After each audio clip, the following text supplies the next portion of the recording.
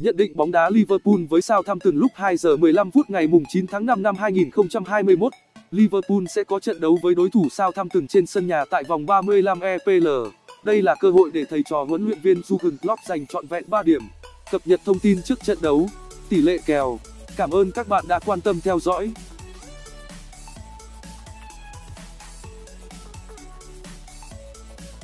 Đoàn quân của huấn luyện viên Jurgen Klopp đang không có được phong độ thi đấu khá ổn định trong thời gian gần đây khi mà Liverpool chỉ giành được một chiến thắng sau 5 trận đấu gần nhất.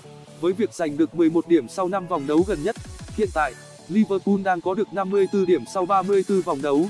Họ vẫn còn một trận chưa đá.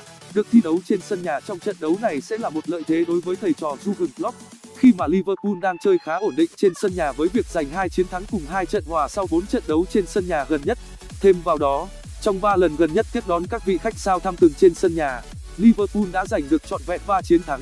Trong khi đó, đoàn quân của huấn luyện viên Ralph Hasenhuttl cũng đang thi đấu khá thất vọng trong thời gian gần đây khi mà sao thăm từng không giành được một chiến thắng nào trong 4 trận đấu gần nhất.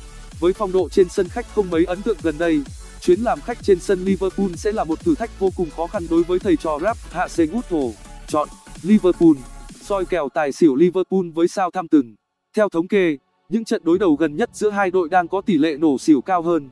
Cụ thể với kèo tài xỉu 3.25, có 2 trong 3 lần chạm trán gần nhất giữa hai đội đã nổ xỉu.